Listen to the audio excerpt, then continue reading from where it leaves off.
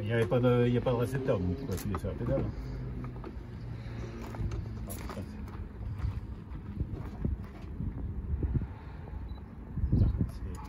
c'est pas celui-là que j'avais hier.